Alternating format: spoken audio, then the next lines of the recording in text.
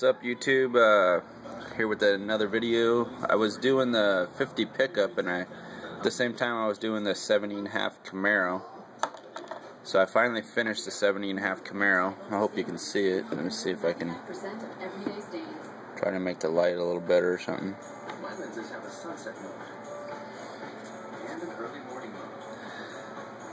Alright, here it is. If this video doesn't come out good, I'll shoot it again. If I've never had the clear coat turn yellow with Duplicolor. It kind of got a little yellow haze on the hood. I don't know why. I don't know if you guys can see it, but it's like a little little haze. The model, I mean, it came out okay. Nothing fit right. This model, the 70 and a half Camaro model, the AMT is just it's got its issues, but all in all, it came out pretty clean. I built one before and I messed the suspension up uh, because I tried putting it together after I put the subframe on the, the body and then just fell apart. But this time I did it a little different. I, I put it all together and then stuck it on the on the body, and it came out pretty clean. I don't like the way the headers fit to the side pipes, but but that's what it is, and I wanted the side pipes, so. See if you guys can see everything. It's pretty detailed, nice and clean build. It's just a clean, clean build. Traction bars. One thing I didn't do was paint the gas tank in the back, but I did have a lot of issues just to get to this point, so I put a couple things from a photo etch kit on there. I didn't get too crazy. I wanted to keep some of the other photo etch stuff for the other Camaro I have in my closet. I got a, I bought another 17 and half Camaro. I don't know for sure what I'm going to do with it. I'm thinking about pro streeting it, but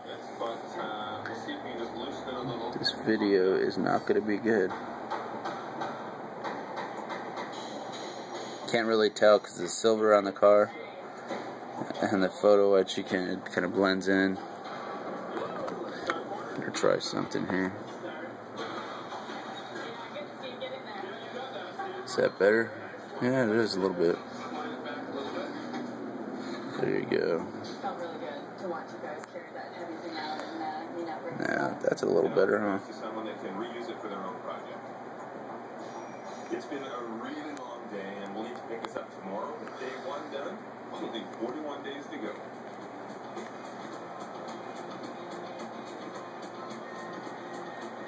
I didn't stick the tag in the back. I'll, I'll do that later.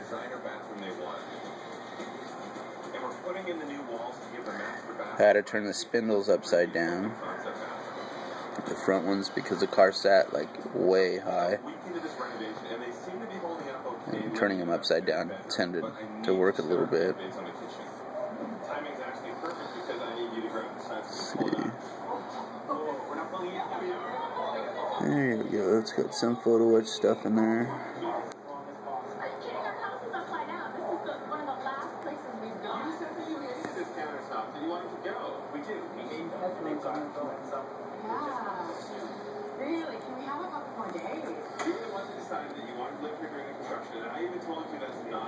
The motor. It's pretty basic. I wired it. I ran a fuel line. I don't know if you can see the fuel line, but there it is.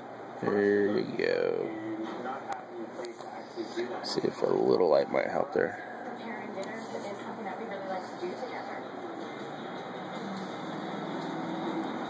There you go. Fuel lines ran.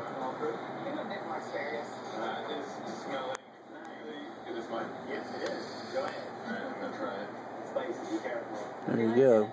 That's pretty much it. I mean, I'm I'm not like uh, it's not one of my favorite ones, but it, it, came out okay. It's a nice shelf model. I ain't gonna put it in a show or nothing. Side pipes, I don't like the way they came out. And I if I would have seen this bit, anybody builds it, see those little dimples on the side pipes? fill them in before you put them on the car. Do yourself that favor. I didn't see them until after I started sticking them on the car. I thought the body would hide it, but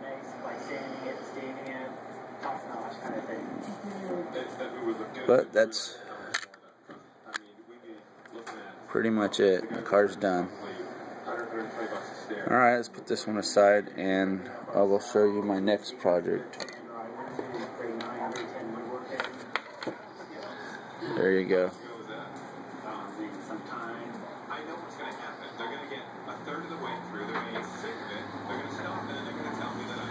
Well, that's what I'm doing next. I'm pretty much going to do it like the box.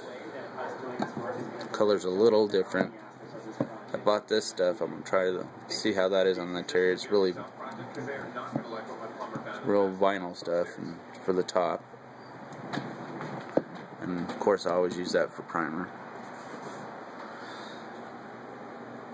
There's Detail Master uh, distributor kit. i am thinking about getting the black one because I don't know if I'm going to put the blue one on there.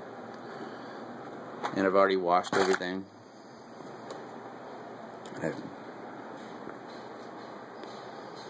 So I separate mine like body and, and the big parts there and then anything that goes in the bottom of the car is in here.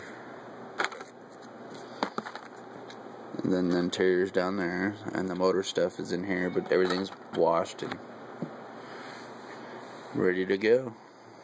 Well that's it YouTube. I will have another video when I make some progress.